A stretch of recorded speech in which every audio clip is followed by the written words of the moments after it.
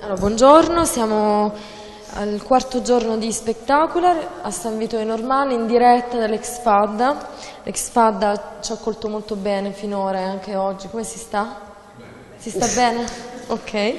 Siamo qui con eh, Francesca Corona, direttamente da Roma e da PAV, che è un esattamente, non puoi dire associazione, E PAV è, un organismo. diciamo, è un collettivo, Un collettivo. di organizzatori e curatori che si occupano di performing art. Ok, e organizzano varie cose, un festival molto bello che c'è a Roma, Short Theater e varie iniziative varie, dove il termine vario no, non va a sminuire per niente, per quanto mi riguarda questo. E, mm, oltre appunto a parlarci dell'organizzazione, di, di come si lavora con la performing art, in particolare abbiamo invitato Francesca per parlarci delle esperienze eh, relative a, soprattutto anche molto recenti, il Teatro India, Perduta- Perdutamente e anche vabbè, ok, il festival che non è così recente, di ehm, reinventare gli spazi, eh, ripensarli, pensarli anche in modo temporaneo soprattutto, così come è stata un'esperienza di, di perdutamente. Adesso ce ne parlerà lei sicuramente bene, meglio. Eh, grazie, ci vediamo dopo. Questo tanto non mi serve. Questo è per noi. Ciao. Eh sì, oggi volevo, insomma, rispetto alla richiesta che, che mi ha fatto Isabella, volevo parlare di tre esempi di, diciamo, di, di abitazione di luoghi in modo temporaneo. Eh, io non ho nessun tipo di esperienza stabile rispetto a un luogo, quindi quello di cui mi sono occupata negli ultimi dieci anni è di organizzare più che altro dei tempi all'interno dei luoghi che non, ci che non mi appartenevano e non ci appartenevano alle persone in cui, che, che li abitavano per un periodo dato, determinato. E, quindi la- sono- le esperienze di cui volevo parlare sono tre, una è mm, Short Theater che è un'esperienza di più lungo viaggio perché è iniziata otto anni fa e- ed è iniziata con, delle- con degli obiettivi che sono completamente falliti e ne ha trovati degli altri diciamo sulla strada. Poi un'altra esperienza è quella che citava Isabella che è Perdutamente, che è stata una residenza di 18 compagnie per tre mesi al Teatro India l'autunno scorso. E poi la terza esperienza di cui vorrei parlare, che è in atto, è Tropici, che è un, un progetto che sto seguendo con Michele Di Stefano, che è un coreografo, e questo progetto ha per adesso come casa l'Angelo Mai, che è uno spazio occupato a Roma.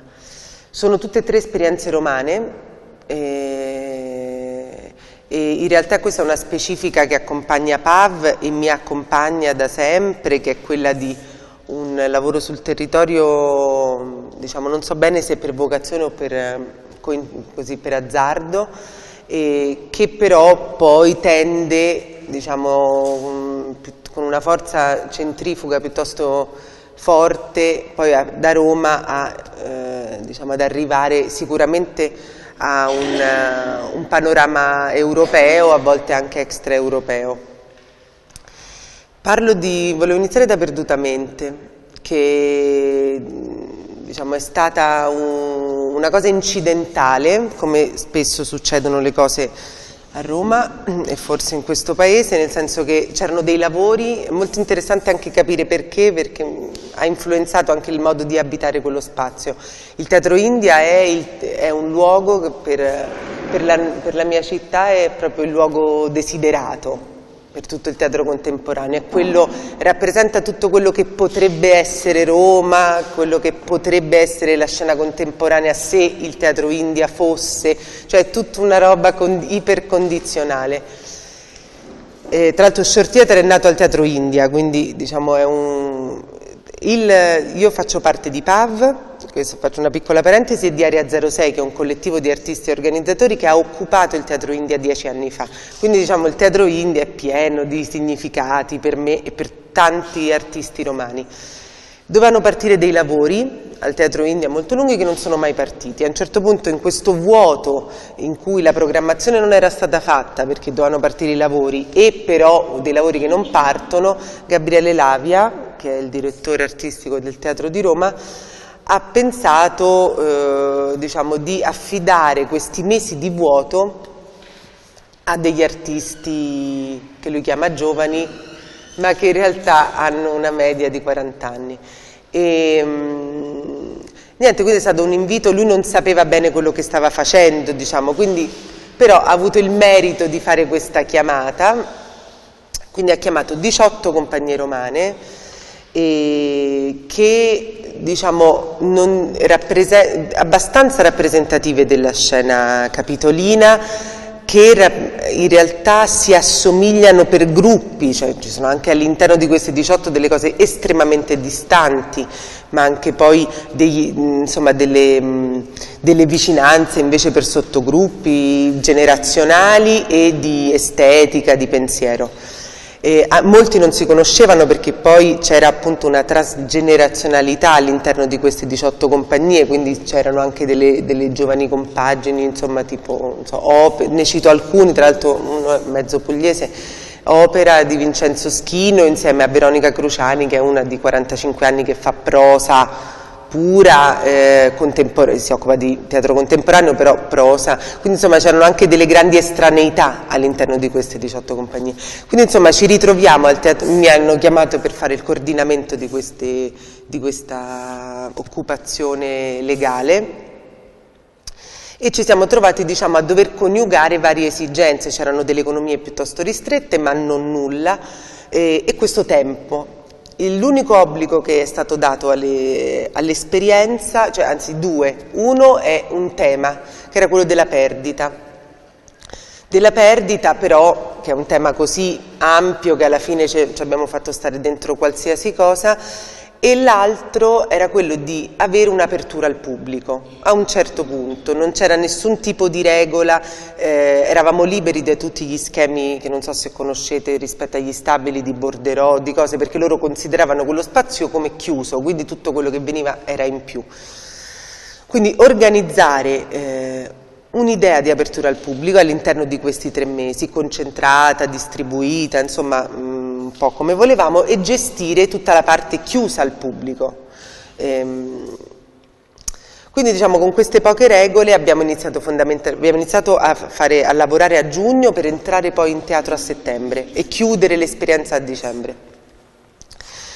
Diciamo che queste, eh, perdutamente doveva coniugare due vocazioni. Eh, c'era un professore quando facevo l'università che le chiamava, eh, bel, cioè era un bel modo di chiamarle che era ozium e negozium, cioè ozium è tutto quello che riguarda appunto la creazione, la produzione, tutto quello che serve all'artista per, eh, per, produrre, per creare, eh, con per produrre e per i suoi scopi, cioè non per produrre e poi mostrare. Quindi tutto quello che è eh, il suo il suo ozium, il suo piacere artistico e creativo. E poi c'è il negozium, che è quello invece quando questa cosa ha una volontà che non è detto che sia necessaria, ma in questo caso era imposta, che è quella del rapporto con, con i cittadini e quindi doveva, due, doveva, coprire queste due parti. Quello che è stato deciso per quello che riguarda l'ozium era eh, quello di, eh, es, di avere una la residenza era per tutte e 18 le compagnie tutti i giorni per due mesi, quindi non c'era uno spacchettamento per cui non c'erano quattro, gruppi di quattro, gli spazi all'interno del Teatro India per poter creare sono tre,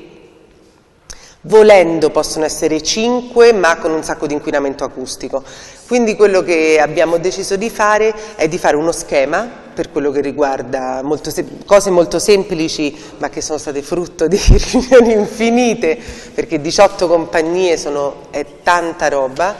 E, quindi quello che abbiamo deciso di fare è di avere da una parte poter garantire a queste compagnie una certa protezione in alcune sale dall'altra invece avere una sala che era come il nuoto libero, cioè una sala che non si poteva prenotare e che aveva sempre eh, le porte aperte, quindi tu eh, sapevi che quando entravi in quella sala potevano arrivare altre persone, potevano stare lì, mettersi là, eh, appena tu andavi in bagno mettersi a fare le prove loro, cioè era nuoto libero.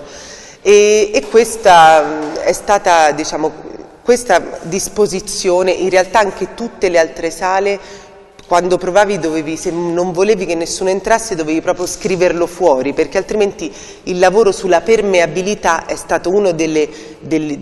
diciamo, delle, delle parole chiave de, o dei pensieri chiave all'interno della costruzione di questa residenza.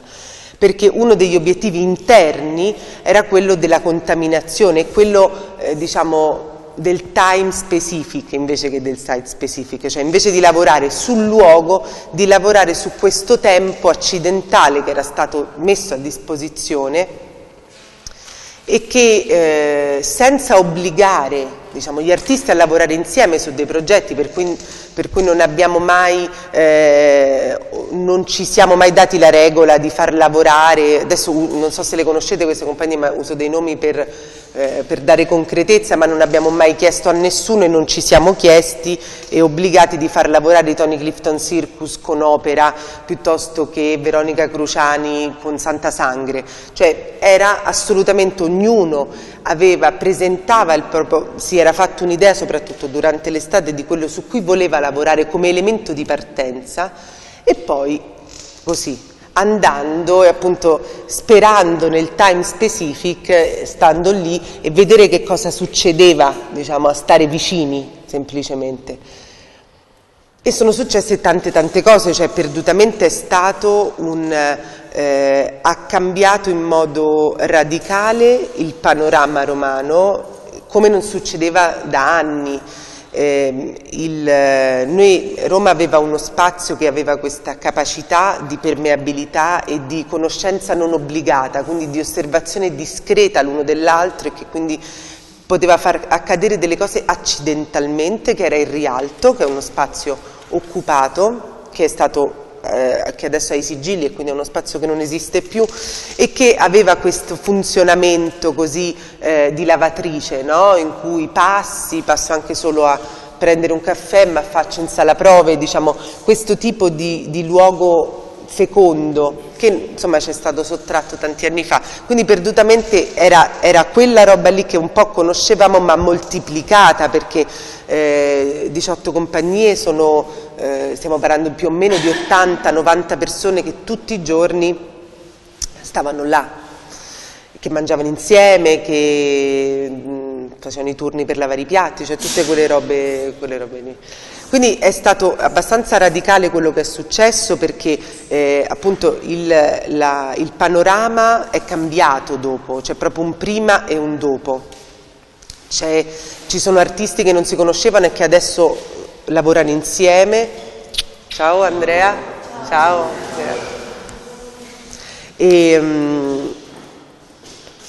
ma in modo, cioè quando dico che è cambiato è proprio in modo profondo, nel senso che sia dei lavori, ognuno è entrato lì dentro con un progetto, con un progetto nell'idea di questo negozium che sarebbe arrivato, noi abbiamo deciso che arrivasse alla fine del percorso tutto concentrato su dicembre. Quindi ognuno aveva un suo progetto in attesa del pubblico, degli spettatori, dei visitatori. E, quindi sono, quando dico che è stato fondamentale incidente il fatto di essere tutti insieme è perché questi progetti sono poi cambiati nel corso dei mesi e si sono contaminati e infettati a vicenda in modo assolutamente inaspettato, cioè molto molto più del previsto. Dall'altra, al di là di quello che è successo in quei tre mesi, è tutto quello che è successo dopo. Cioè, adesso sta per partire un laboratorio a Roma, al Quarticciolo, con tre compagnie di perdutamente che prima, ma no, ma proprio non, si, non è che non, solo non si conoscevano, ma avevano una serie di pregiudizi estetici, formali, di contenuto al, all'interno del, cioè rispetto al lavoro degli altri, perché in generale questo all'interno del panorama del teatro contemporaneo cioè è una, un grande zoo, diciamo, il teatro contemporaneo al cui interno si muovono eh, diciamo, flussi di pensiero molto lontani molto, o apparentemente molto lontani. Poi visto da, cioè visto se uno avesse la possibilità di vederlo un po', un po più a qualche chilometro di distanza si renderebbe conto che stiamo parlando di, di 100 sfigati che fanno più o meno la stessa cosa, ma che poi da vicino e da, cioè quando le vedi da, da, così vicino e così attaccato non ti rendi conto no? Della, anche possi dei possibili passaggi che ci sono tra, tra un fare artistico e un altro. Quindi diciamo che le conseguenze di perdutamente sono cioè una specie di tsunami cioè che continuano a uscire fuori, continuano a, a, continuano a esserci delle... Ehm, appunto non, non, conosco bene la Puglia il panorama pugliese per farvi degli esempi, ma delle cose proprio telluriche, cioè dei, dei artisti, Federica Santoro che lavora con i Tony Clifton, io non so spiegarvi quant'è una cosa sconvolgente, ma lo è, cioè nel piccolo mondo, del, è proprio cioè, delle cose piuttosto sorprendenti che continuano e continueranno. Ovviamente cioè, questo, eh, quello di cui mi occupo, che è sempre relativo, come abbiamo detto all'inizio, al temporaneo, quindi a, a, un tempo che poi finisce, ha di molto bello l'eccezionalità e di conseguenza negativa invece il fatto che se non, si, se non risuccedono delle cose temporanee, ovviamente poi un po' eh, cioè il rischio è quello che si sfaldino anche queste, questi slanci, però insomma speriamo che non sia così, cioè, speriamo, cioè, di solito in questi ultimi dieci anni poi delle occasioni cioè, si sono sempre ricreate. Anche Tropici, che è il progetto di cui parlerò dopo, non sarebbe esistito senza perdutamente, che poi ha insegnato rispetto al negozio, questa è tutta la parte appunto rispetto alla creazione e rispetto anche ai passi indietro che ogni artista deve fare se vuole convivere con altri artisti, quindi deve rinunciare a tutta una serie di... Mh, eh, di personalità, no? cioè il fatto di avere una sua sala chiusa, eh, concentrata, ma non perché non serve, non perché non sia bello, però in quell'occasione non, non, ce lo si poteva permettere. Quindi la cosa che poi è mh, non con... Eh, cioè con, con, vari stress diciamo, rispetto a questo, rispetto a dover rinunciare a quella, a quella protezione, eh, o comunque era richiesta questa, poi non tutti e 18 hanno scelto di rinunciarci, cioè c'è chi è, eh, ha deciso di rimanere più e, e questo non era, non c'era un giudizio rispetto a questo, era semplicemente più che un invito era una condizione fisica, cioè, quindi non, era semplicemente c'era così tanto bordello che era impossibile quindi dovevi prendere la sala dalle 8 di mattina alle 10 se volevi questo tipo di protezione, c'è chi l'ha voluta e ha continuato a lavorare così. E, ehm, quando abbiamo iniziato a lavorare su come aprire al pubblico abbiamo deciso, eh, al, di là, questo, al di là delle prove esistevano dei tavoli all'interno dei mesi di residenza su dei temi eh, dei tavoli che poi hanno, cioè sono nati più che altro indagine, come indagine speculativa, che poi alcuni ah, sono proseguiti durante tutto il periodo, hanno,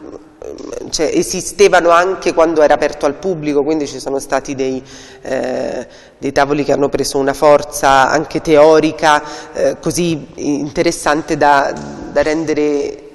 ragionevole il fatto di condividerli anche con eh, i cittadini. Dall'altro c'erano dei tavoli più tecnici e c'era un tavolo che è un po' l'incubo di perdutamente, ma eh, secondo me è stata la cosa più bella, che era il tavolo del dispositivo. Il tavolo del dispositivo era un tavolo che c'era due volte a settimana e che ragionava sul negozium, cioè ragionava su aprire al pubblico e come aprire al pubblico. Partecip quindi eh, Qui c'è un tema molto importante, ma molto, è proprio un'altra un lezione, che è quello dell'autoprogrammazione, che è una cosa che a me personalmente interessa tantissimo eh, l'autoprogrammazione rispetto al concetto di direzione artistica classico. Quindi il, negozio, cioè, il, negozio, il tavolo del dispositivo fondamentalmente era un tavolo che ragionava sull'autoprogrammazione perché noi nel, nelle tre settimane di apertura che ci siamo dati a dicembre fondamentalmente a parte rarissime eccezioni di cui poi vi parlo, presentavamo i nostri lavori, cioè non è che invitavamo altri artisti, quindi bisognava autoprogrammarsi. E questo è, un ragion- è uno sforzo che raramente fanno gli artisti perché c'è sempre qualcun altro che si occupa del, dell'inserimento dell'opera di un artista all'interno di una struttura che poi si mostra al pubblico. E, oppure se lo fa l'artista di solito ragiona su come mostrare altri suoi colleghi, no? non come mostrare se stesso all'interno di un dispositivo autocostruito, quindi è, un, è uno sforzo molto interessante perché obbliga al ragionamento del rapporto tra l'opera d'arte e il cittadino, che è una, cosa, è una responsabilità di cui l'artista non è una sua, mm, solitamente, a parte specifici casi in cui la ricerca dell'artista va nella direzione del ragionamento sulla comunità, altrimenti non è un, una priorità, a meno che non si gestisca uno spazio, però insomma nella propria pratica artistica.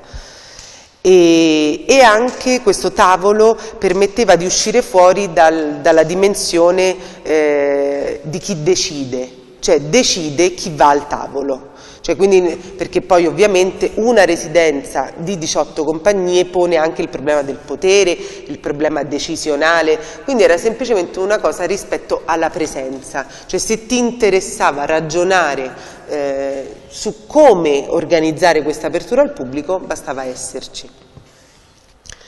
E,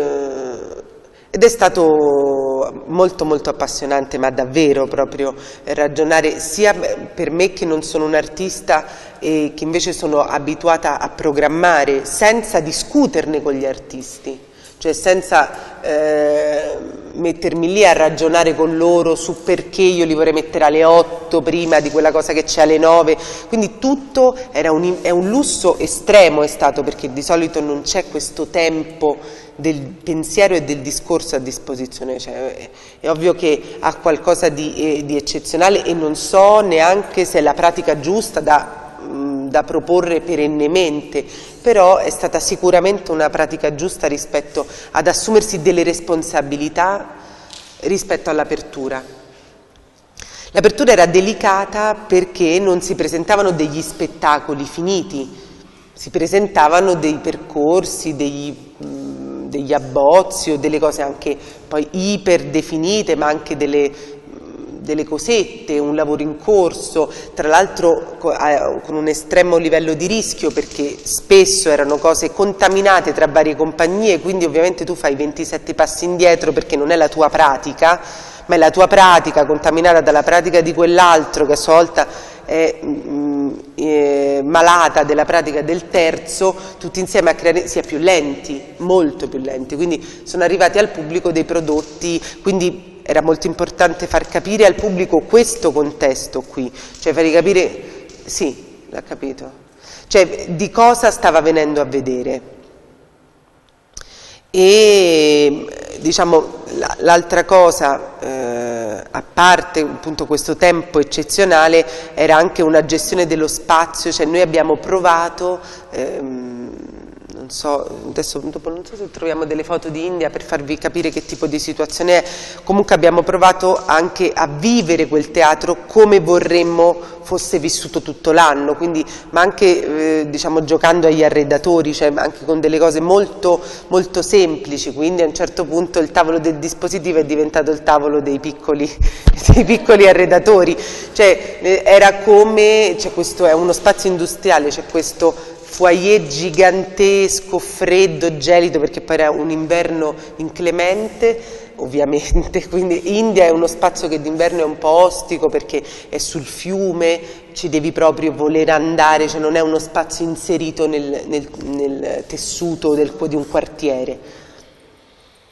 E quindi abbiamo cioè, lottato contro questa inospitalità del luogo, lavorando semplicemente a dei piccoli segni eh, a dei, a dei piccoli segni di, ehm, cioè di accoglienza. Abbiamo cercato di lasciare le tracce di tutti i mesi passati lì dentro, in modo che le persone che venivano avevano uh, idea e traccia di tutto quello che era successo e di tutto quello che aveva portato. Abbiamo lasciato appesi tutti i fogli di lavoro, tutti eh, i mega tabelloni con... Eh, lo schema delle compagnie nelle sale, gli orari, eh, tutti i messaggi perché c'erano dei, dei, muri che usavamo come bacheche e quindi insomma tutto questo è stato importante lasciarlo, lasciarlo lì.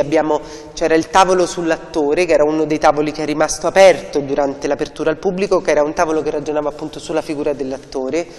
con eh, una decina di artisti provenienti da, varie, da diverse delle compagnie presenti aveva creato un salotto per esempio durante, durante, i mesi di residenza. Quel salotto è stato semplicemente abbellito perché qualcuno veniva, veniva a trovarci, quindi diciamo, abbiamo cercato di far sì che il pubblico non si sentisse, non, non, che non ci fosse la chiusura delle porte della residenza e poi l'apertura per il pubblico, ma che fossero anche quelli permeabili, no? che ci fossero delle cose che, anche perché poi le residenze continuavano comunque, cioè la sera aprivamo al pubblico ma di giorno si continuava a provare anche perché non erano concessi allestimenti, era, insomma eravamo un po' prolet cult, così un po' un po' rigidi su determinate cose, nel senso che non c'era questa cosa di appropriazione di una sala cioè tu dovevi ehm, abitare, c'era il minimo storico per puntare due luci e poi così buona la prima, quindi c'era un po' questa, anche perché ci credevamo e, e penso questa sia stata un'intuizione giusta, che lasciare questa questa idea di apertura, anche di poca definizione, aiutasse il pubblico a capire il livello di cantiere in cui stava entrando, cioè non, perché il troppo confezionato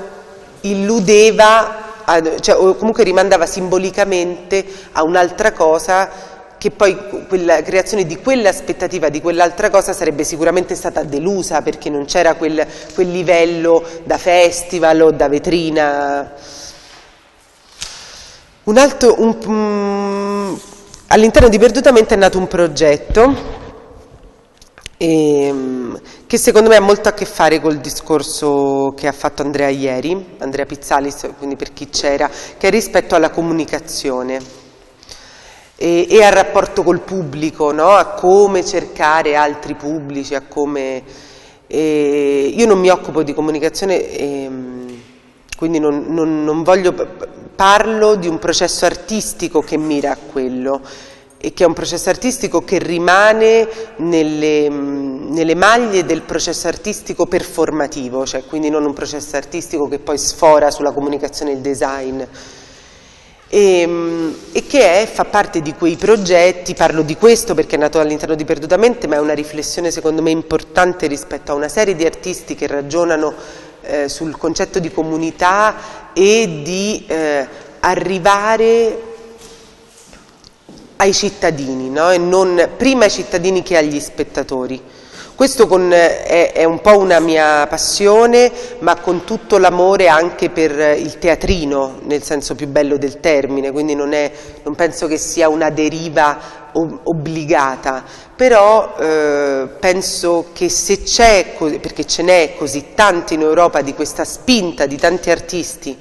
a eh, ragionare all'interno della propria opera d'arte all'allargamento e al coinvolgimento in una comunità è perché insomma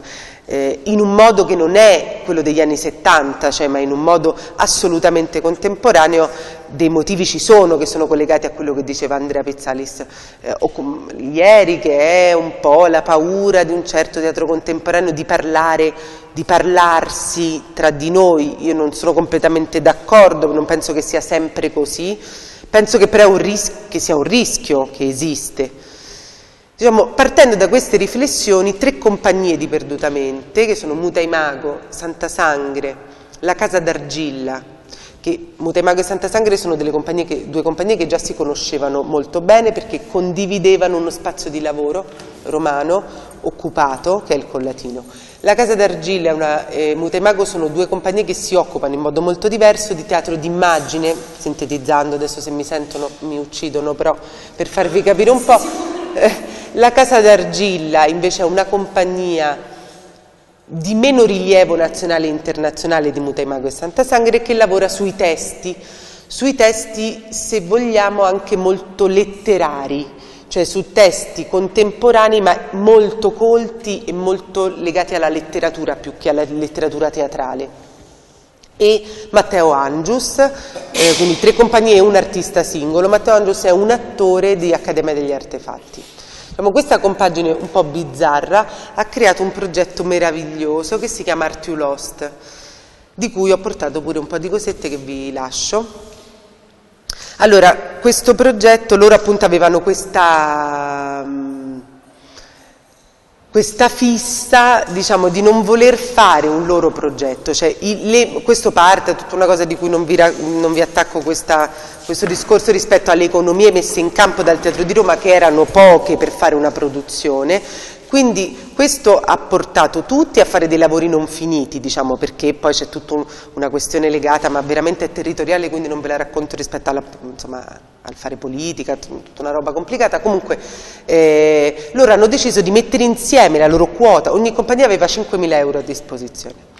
Quindi sicuramente niente per, per fare una produzione, ma qualcosa per eh, lavorare, loro hanno deciso di mettere insieme, quindi di, di avere questi 15.000 euro a disposizione e di lavorare su qualcosa che era molto lontano dal loro lavoro, ma di un progetto altro e, e, e che avesse a che fare con una chiamata pubblica, con un coinvolgimento il più largo possibile alla cittadinanza. E, hanno, insomma, e nasce così questo progetto Art You Lost, con un sottotitolo che è Mille persone per un'opera d'arte. Quello che hanno fatto è una chiamata pubblica eh, ai cittadini di portare al Teatro India un oggetto di cui volevano in qualche modo liberarsi, un oggetto che erano o che diciamo, questa è una, una, mia interpretazione, più che volevano liberarsi qualcosa, un oggetto che erano disposti a perdere, ma che avesse comunque un minimo di valore per loro, mm, insomma non la cartaccia che ho in tasca che la voglio buttare, qualcosa che un minimo avesse una piccola storia personale. E questo diciamo, è stato molto importante per il progetto complessivo perché eh, loro hanno iniziato, quindi le persone dovevano avere anche mezz'ora a disposizione nel momento in cui portavano l'oggetto, quindi c'era questo volantino che ha girato per Roma in modo impressionante, quindi una comunicazione vecchia che è quella del volantino, che era un volantino eh, che aveva, aspetta forse qui ce l'ho, era questo qui, che era un po' sembra quelli del, di quando per, si perdono le persone, no? Era questo qua era in bianco e nero, questa è la versione mm, più carina che abbiamo fatto dopo per la grafica, sempre, è, questo materiale è in inglese, quindi ovviamente a parte il titolo che è in inglese, le regole qui sono scritte in italiano, adesso ve le leggo. E scegli un oggetto che ha un significato per te, qualcosa che sei pronto a lasciare per sempre. Seconda regola, scegli un giorno, dedicaci mezz'ora del tuo tempo. Terza, comunicaci il giorno e l'ora, c'era una mail dedicata, un numero di telefono dedicato. Vieni in teatro nell'ora e nell'orario prescelto, porta l'oggetto con te. Una volta in teatro, segui le indicazioni e lascia le tue tracce e i tuoi segni. Sesto, torna a teatro a visitare l'opera che hai contribuito a creare. E sono venute mille persone in tre settimane e sono venute eh, durante la residenza, durante la parte dell'ozium, durante la residenza chiusa perché ovviamente non si poteva, era impossibile coniugare poi, perché il percorso, eh, gli artisti di Art Lost hanno costruito un percorso molto preciso e molto curato nel lasciare l'oggetto. Quindi la persona arrivava col suo oggetto. E in tutto questo percorso eh, viaggiava nei corridoi del Teatro India, non entrava quasi solo in un, in un, retro di una sala, quindi faceva vedere anche degli spazi del Teatro India che di solito il pubblico non vede e poi tutto questo, una cosa piccolina ma interessante rispetto al discorso delle, del nuoto libero e delle cose che c'era ovviamente quando sei in così tanti. E per un mese, tre settimane, un mese c'è anche del pubblico che passa, c'è un galateo che deve essere imposto a tutti che è appunto molto interessante da studiare, cioè un galateo della convivenza no? tra 18 compagnie che provano, tra gli spettatori che passano, era, il percorso era molto delicato, quindi imponeva una bella rottura di palle per chi provava vicino al corridoio di Artulost che non poteva, insomma diciamo tutti questi, eh, questi limiti no? che, di buona educazione che però sono stati belli da, da esplorare. E quindi una, una persona arrivava, eh, faceva de, varie cose, lasciava, scriveva la sua data di nascita come prima cosa, anzi ve lo racconto il percorso perché è bello, e arrivava, aveva dei dati, componeva, guarda prendetevi questo perché qui dentro lo, lo potete anche, mentre vi parlo lo potete vedere, vi do anche questo. La prima pagina è dedicata a questo, questa parte qui, diciamo tutta Artulost era divisa in due parti, preparatorio e opera. Tutta questa parte qui è relativa al preparatorio che potete vedere adesso non ce l'ho più sotto mano ma mi pare la prima pagina. E no, no, no, lo, tanto il percorso me lo ricordo bene, non quella, ecco, lì dentro dovrebbe esserci, ecco, nella pagina di destra, quelle sono le immagini pre, le relative al preparatorio. Quindi tu arrivavi, scrivevi la tua data di nascita, poi mandavi, c'era un telefono, come vedete c'era anche proprio un'estetica molto curata, tu eri spiato ovunque da microfoni ma non c'era questa sensazione di grande fratello, però era tutto ipercurato, quindi arrivavi, scrivevi questa data di nascita, poi mandavi un sms se non sbaglio, ma mi potete correggere, mandavi l'ultimo sms che avevi scritto, lo mandavi o a un numero di telefono dal tuo telefono, lo scrivevi su un cellulare messo a disposizione. Dopodiché ti sedevi a un tavolo, c'erano delle cuffie e sentivi, e sentivi una musica. La musica era la musica dei tuoi 16 anni. Noi avevamo preparato 80 playlist e era la tua data di nascita più 16 quindi tu ti sedevi e non capivi minimamente, che, e la cosa era solo di stupore, dici minchia ma è proprio la musica della mia adolescenza, guarda come hanno fatto. E, e, era insomma piccoli trucchetti, però era tutto proprio, era la sensazione delle... Cioè avevamo, c'era un computer, c'era una stazione di computer sia con le telecamere perché più persone facevano il percorso in zone, quindi anche perché c'era tutta una serie di luci che si spegnevano, si accendevano rispetto a dove stava la persona, quindi dovevi, era tutto monitorato. Quindi dopo la musica, eh, se non sbaglio, andavi in un corridoio eh, dove c'era un tavolo, c'erano delle candeline che tu soffiavi e il soffio era registrato perché poi tutto questo è servito all'opera, che poi vi potete vedere nel, nella dispensa e poi un po' vi racconto. E, e ti davi, nel momento in cui si spegnevano le candeline rimanevi al buio e si illuminava una scritta che era sul tavolino che c'era, c'era scritto eh, sussurra qui un consiglio che ti vuoi dare e c'era un buchetto nel, nel, tavolo e tu lì potevi, potevi darti un consiglio. Poi a un certo si illuminava una poltrona, c'era un telefono che squillava e c'era una persona dall'altra parte che ti raccontava una volta che si era perso. E poi ti chiedeva ma tu ti sei mai perso? E raccontavi, chi raccontava quando si era perso da piccolo nel bosco, chi raccontava quando si era perso perché era entrato in depressione, insomma diciamo vari livelli di perdita, di generosità nel racconto. Dopodiché entravi, mappa? Sì, no, SMS. SM, no, dopo mappa. mappa, mappa. Entravi in un retro di una sala e c'era una mappa di Roma 10x10 su cui tu camminavi, c'erano delle penne a disposizione dei pennarelli e scrivevi delle cose sulla mappa e lì cioè, diciamo era una roba meravigliosa andare a fine giornata perché c'era, non so, dove sono nato il primo bacio a casa di mia madre, eh, la stazione dove arrivo sempre, la prima volta ho fatto l'amore, sì, cioè, insomma, diciamo, il più, tutto quello che potete immaginare possa suscitare una città, diciamo, su chi l'abita. E poi dopodiché entravi in una stanza molto bella, con un tavolo da lavoro, con delle lampade, tu, e tu scrivevi la storia dell'oggetto che avevi portato. Di raccontare, ma poteva essere anche iperidiota, cioè, insomma, insomma la, la, mm, gli oggetti che sono stati portati erano i più diversi, dall'agendina dell'anno prima al cappello di mio nonno, cioè delle cose di estremo valore affettivo, ma estremo, che tu no, non potevi capire perché l'avessero portati, cioè come, che cosa, cioè, cosa li avesse spinti a portare una cosa così importante a delle cose più stupide, così.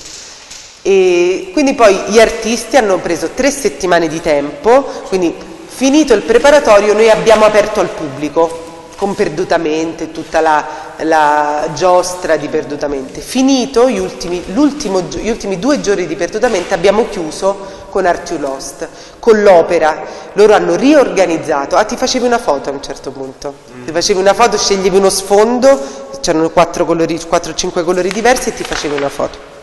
era l'unica tappa che avevo dimenticato. Quindi loro hanno preso tutto questo, l'hanno riorganizzato e ne hanno fatto un'opera d'arte che era in tutti gli spazi del Teatro India. Quindi il foyer, l'enorme foyer di cui parlavamo prima, sopra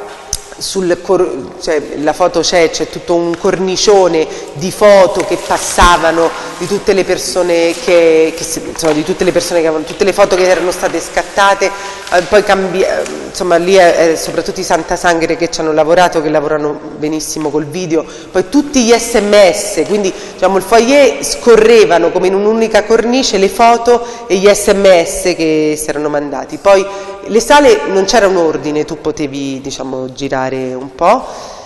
C'era una sala con la mappa, illuminata solo con la luce wood, con tutte delle casette che tu potevi spostare e soprattutto ognuno aveva una torcia quando entrava, perché era piuttosto non buio ma un po' in penombra e leggevi tutti i milioni, ma stiamo parlando di milioni di scritte che c'erano sulla mappa poi c'era la cosa più diciamo, spettacolare, era il retro della sala con la mappa, abbiamo costruito una foresta al chiuso, quindi 100 metri quadri di foresta,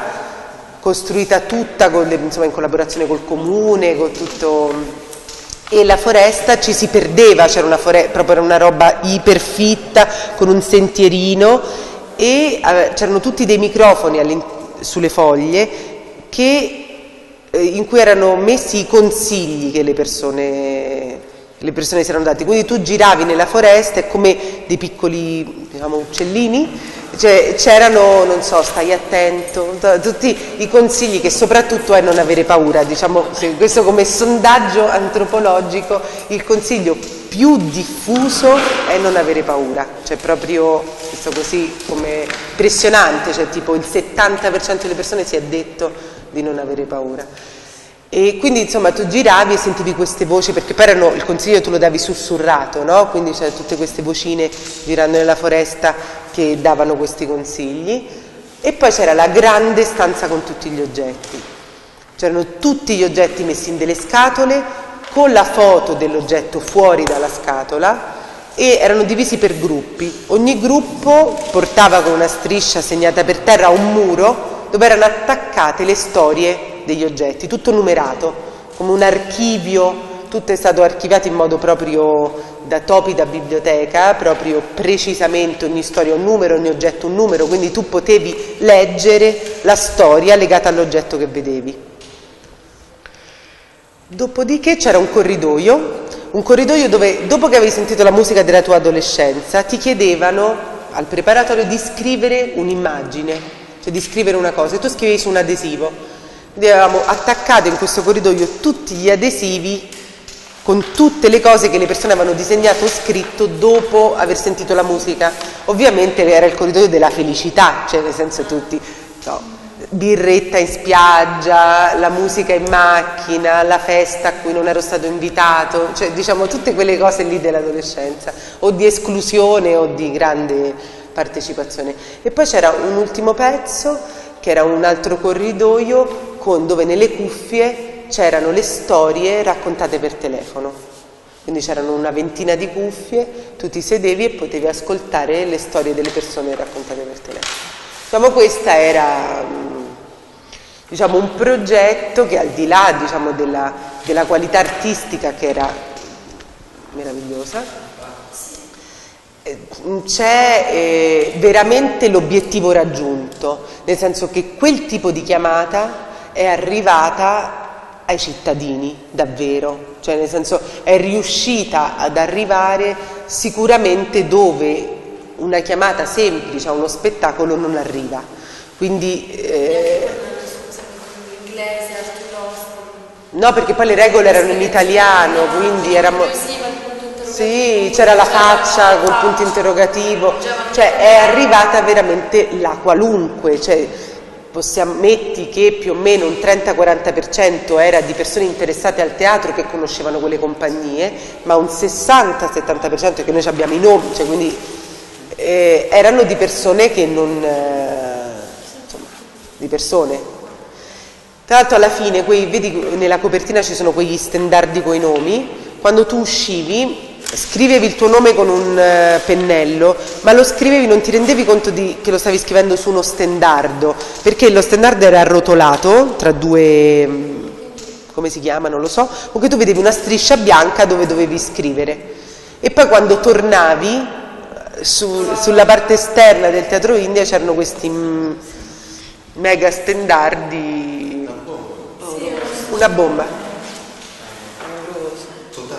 Cioè, paradossalmente tu entravi in una cosa piccolissima che era molto importante per te, ti perdevi all'interno sì. di questa cosa per poi dare veramente il valore. Sì, no, poi tornavi e ti prendeva un colpo perché le persone che avevano lasciato, soprattutto tutte quelle, perché noi siamo andati nel dopolavoro, è un tipo di chiamata che incuriosiva cioè dovevi avere mezz'ora, non, non, parlavamo di percorso individuale perché il percorso individuale spaventa tantissimo e lo capisco perché anche a me cioè quelle robe prestazionali, capito che devi fare delle cose, si presuppone che tu sia intelligente, insomma tutte quelle cose. Quindi non, non lo dicevamo, eh, era un po' a tradimento, però poi era, il percorso era davvero poco prestazionale, cioè ti, era molto accogliente come tipo di percorso, non era... Eh, cioè non è che dovevi essere fico o dovevi... cioè era proprio una cosa semplice che, non, che ti metteva a tuo agio, era, molti la definivano come un... Cioè come, come a fa, andarsi a fare un massaggio, hanno detto tanti, cioè come prendersi come così una, una spa, sì, una mezz'oretta di spa, così, una spa dell'animo. Le richieste sembrano molto delicate. Molto delicate, sì, non erano... anche delle restituzioni immediate, tipo sì, sì, e poi ti metteva, la canzone metteva subito in buona, cioè la playlist era, era veramente metteva di buona... Ed è questo diciamo un esempio eh, rispetto appunto, cioè perché ieri ci interrogavamo, Andrea si interrogava in modo molto intelligente rispetto all'arrivare a un altro pubblico, ma lui ragionava semplicemente, cioè semplicemente ragionava su, sul suo, che è quello della comunicazione, quindi come una strategia di comunicazione può arrivare una, che, è problem, cioè che è una questione importante, no? perché non è che tutti i progetti hanno la vocazione della comunità e non debbono averla, cioè non è una cosa obbligatoria, però ci sono anche altri, altri metodi che, sono, che, è proprio il progetto artistico che arriva, che arriva altrove, per come è ragionato, per come è pensato, cioè se è, un, cioè se è davvero un'urgenza di un artista quella di arrivare al, che appunto non tutti gli artisti ce l'hanno e non la devono avere perché va, va protetto e comunicato bene e visto anche la cosa più veramente ozium possibile, cioè la più chiusa, la più eh, sacrale, no? c'è, c'è, chi ha quell'idea di teatro e va preservato anche quello. Però è, è molto interessante perché c'è un movimento gigantesco in Europa che, che, ragiona su questo termine, adesso poi iperabusato e lo sarà sempre di più perché è una delle parole chiavi de, del nuovo programma europeo di, dei prossimi sette anni che è la comunità quindi poi sarà una parola che già inizia a stare sul cazzo, eh, diciamo, eh. però diciamo, al di là del suo abuso, così è una questione, cioè è di decidere di indirizzarsi ai cittadini prima che agli spettatori, che non è una nota di merito, è semplicemente proprio un altro sguardo che tu hai verso il tuo lavoro e verso le persone a cui vuoi o tenti di arrivare. E... Certo. Cioè, eh, e, per il suo Sì. Secondo te è vendibile un progetto del genere in altri spazi? Certo. Cioè voi senso... Assolutamente ripensato poi soprattutto nella parte diciamo, dell'opera d'arte adattato a... Tra l'altro so, noi l'abbiamo fatta a Sant'Arcangelo quest'anno, ma eh, la direttrice artistica di Sant'Arcangelo ha deciso di dividerlo in due anni, cioè quest'anno abbiamo fatto il preparatorio e nel 2014 facciamo la restituzione, che anche questa è un'enorme trasformazione della natura del progetto, perché ovviamente non c'è quella continuità temporale per cui io ho lasciato l'oggetto e dopo vengo a vedere tu cosa ne hai fatto. È possibile che, a parte i cittadini di Sant'Arcangelo che hanno partecipato, ma tutta quella parte che invece gli spettatori, gli operatori, gli altri artisti, non è assolutamente detto che torneranno a Sant'Arcangelo, no? Quindi Cambia, beh non è detto, cioè potrebbero non tornare, magari non è che tornano apposta per, per, vedere che fine ha fatto il loro oggetto, o anche la memoria, anche se tornano, ma la memoria di quello che hanno fatto durante il percorso è diversa, non è nemmeno né più, però è, una, è proprio, direi proprio un'altra cosa. L'opera ha un valore di per sé, cioè nel senso sono venuti a visitare l'opera più o meno 4.000 persone, perché ovviamente era anche quello, cioè il tipo di proposta era da, diciamo, da museo d'arte contemporanea e ovviamente aveva un valore assolutamente per chi non aveva portato l'oggetto, cioè non era ovvio che chi aveva portato l'oggetto ci provava un gusto tutto personale a rivedere e cioè, stava là, cioè, vedevi questa gente che raccontava a tutti quello che aveva fatto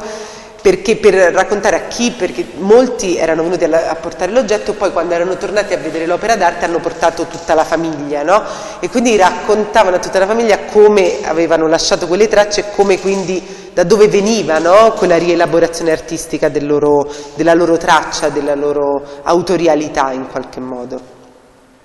E perché stavo dicendo questo? No, sì, assolutamente sì, tra l'altro... Cioè, sì, tra l'altro ci stiamo lavorando, stiamo lavorando su Parigi e sull'Aquila in questo momento con questo progetto. Sì. E abbiamo, eh, tra l'altro, non solo c'è una diciamo, ovviamente ha una vocazione relativa a raccontare un luogo, no? cioè come, direi come vocazione primaria di, di, un tipo di progetto del genere e tra l'altro declinabile non solo rispetto al luogo, ma per esempio abbiamo scritto un progetto che è, per adesso non è andato in porto perché era stata una, una richiesta precisa dell'Auditorium di Roma, che quindi è un luogo dedicato fondamentalmente alla musica, con delle aperture sulle altre arti, ma diciamo è la musica eh, l'obiettivo e eh, la programmazione a questo è dedicata, di farne una versione legata al suono, e quindi abbiamo scritto un progetto che si chiama Play Your Sound, che era invece di portare l'oggetto di cui eh, vorresti liberarti, ma un oggetto che per te suona bene, cioè che ha un suono che quindi potrebbe essere dal CD alla tazza quando ci parlo dentro, alla conchiglia, eh, diciamo era tutto, quindi era completamente un altro progetto, con tutta un'altra declinazione sia nell'opera d'arte, poi in quello che ne risultava, sia proprio nella raccolta delle tracce, che erano tutte esclusivamente sul, sul, suono nel senso più ampio del termine, da quello musicale a quello invece della voce o del respiro dei passi, insomma era proprio un'altra... Quindi in realtà è, è iperdeclinabile come tipo di, di, idea, è come una sorta di, sì, di piccolo dispositivo, piccolo, insomma, di, di, un dispositivo artistico che fondamentalmente è, chiede ai cittadini di comporre un'opera d'arte. Forse è questa la cosa, diciamo, di base, cioè le, le regole sono chiamare i cittadini a lasciare tracce e oggetti e quindi questa forse è l'unica, che poi vengono rielaborati da degli artisti in un'opera in un'opera unica, forse questa è la regola diciamo, di base, poi le possibili declinazioni, insomma ovviamente anche i luoghi chiamano no? a un, cioè per esempio forse nel 2015 lo facciamo a Gerusalemme, è ovvio che insomma non è che si può fare come a Roma, no? Cioè nel senso due domande te le devi fare. e, e anche il, diciamo, il lavoro con gli artisti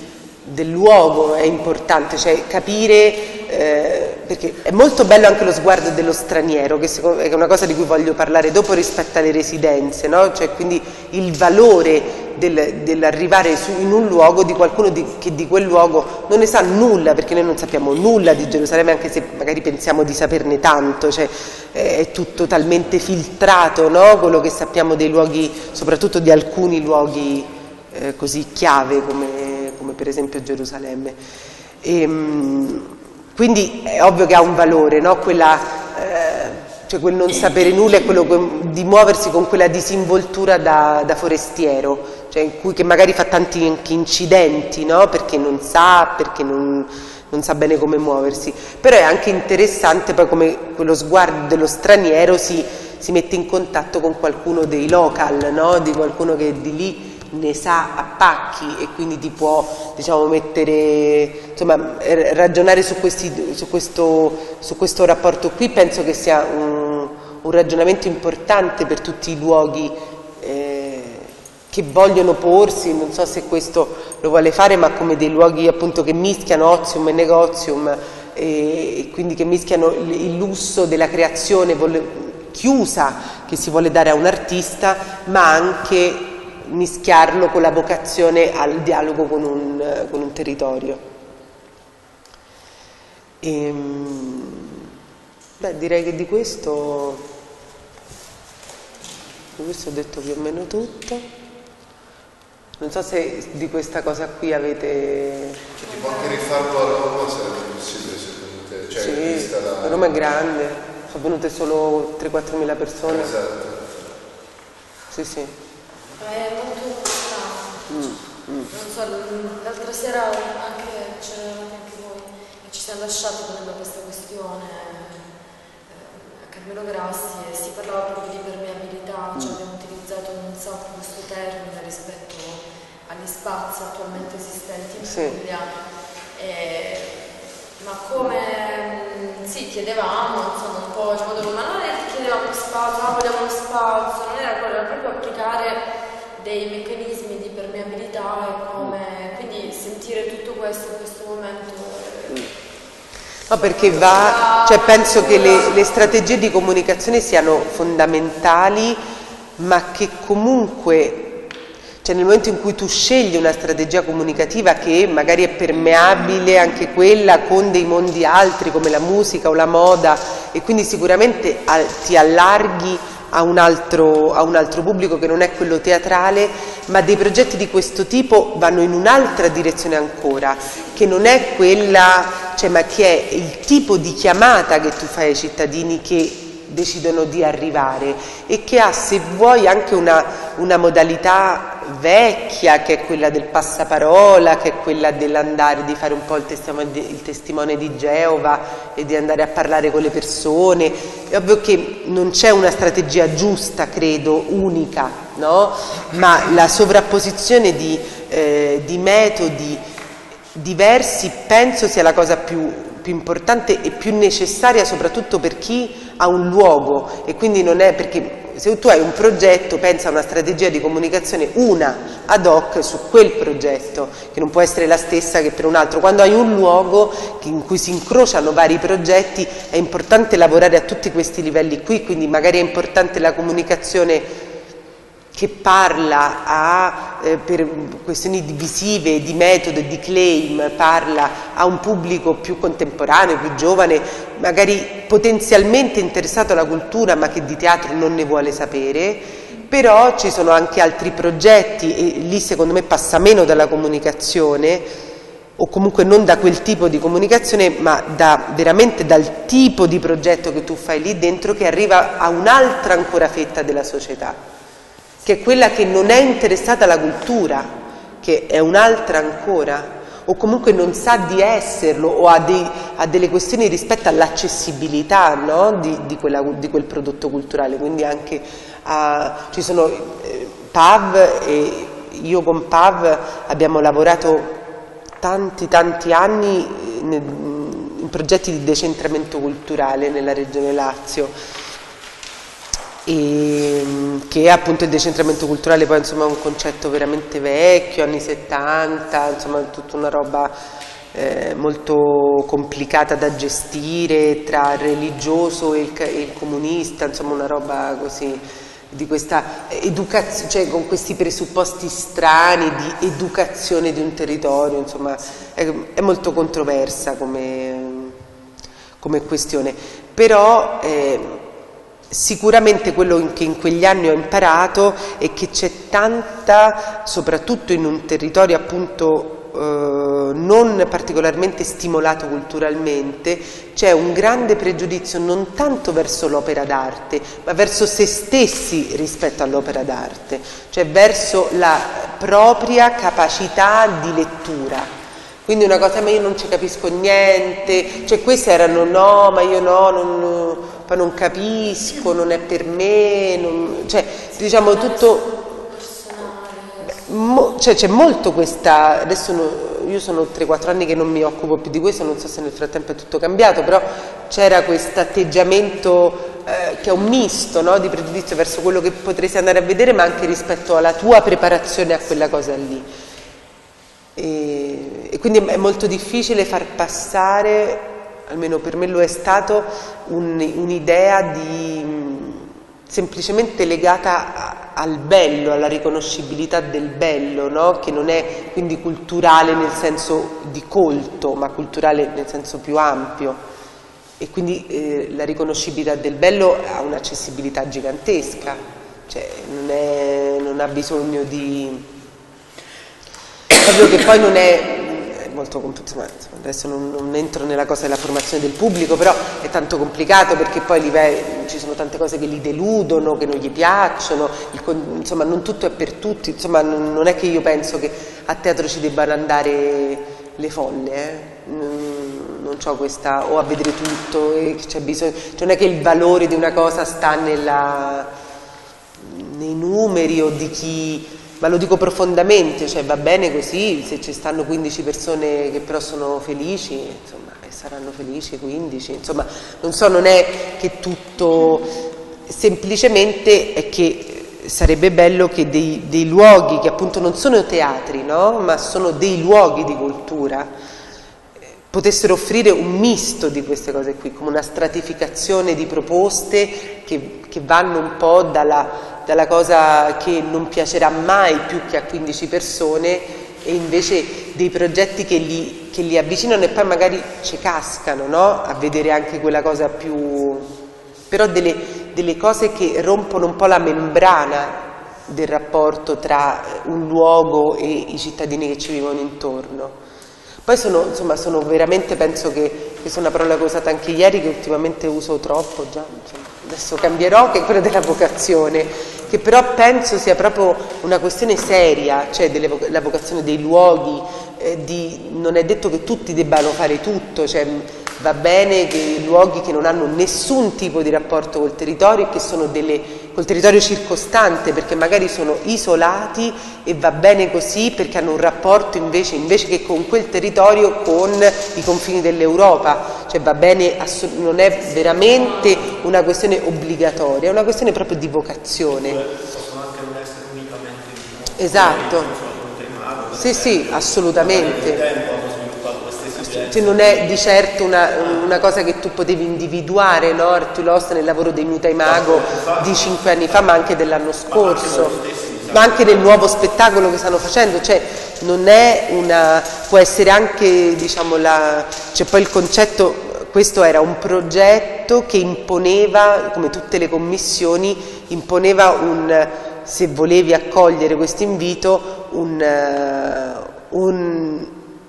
un po' una piccola rivoluzione interna, no? cioè decidere di fare qualcosa che di solito non faccio, cioè indirizzarmi ai cittadini, così, con questa anche presunzione, se, se vogliamo, no? di, di, poter parlare ai cittadini. In particolare Artiulost o in generale tutto perdutamente? Diciamo in particolare Artiulost ed altri progetti di Perdutamente, cioè Perdutamente aveva... Eh, ha cercato, aveva ha sicuramente il grosso valore di perdutamente è interno, cioè è interno e per gli artisti che lo hanno fatto. Diciamo, non è una cosa che ha sballottato la città, non se n'è accorto nessuno, cioè, stiamo sempre parlando di cose cioè, no, così microscopiche, anche quelle 3.000 persone che sono venute a vedere Arti Lost, stiamo parlando del nulla cosmico, cioè, ehm, no, su una città di, di 3 milioni e mezzo di abitanti, cioè incidenza o zero, cioè, proprio, quindi stiamo sempre parlando di minuscolo a livello di incidenza no, su un processo sociale, insomma, la, quindi è giusto ragionare su anche, non so, poi Short Theater, il festival di cui adesso vi parlo, ha sicuramente dei numeri grandi, ma sempre minuscoli, no? Cioè sempre ci indirizziamo a una piccola, piccola fetta della società, cioè insomma, quindi, ma va bene così. Mi sono persa un'altra volta. Sì, sì, sul, sì. Sì, per permeabilità da Sì. quando l'hai nominata non pensavo più per gli artisti, tra artisti, tra le pratiche di ogni Sì. che si è trovato, tra artista e luogo, cioè perché queste 200 compagnie magari c'erano alcune che al teatro, cioè non, non, Certo. non non- magari non c'erano mai entrate, non avevo mai fatto questo tipo di lavori qui e quanto queste, questo tipo di iniziative siano generative, totalmente assolutamente, generative. E- Cioè avere un tempo, voi non avete eh, in Puglia, Sì, no- almeno da fuori, non, eh, immagino avete i vostri problemi, però non avete per esempio il problema dei luoghi, no? degli spazi.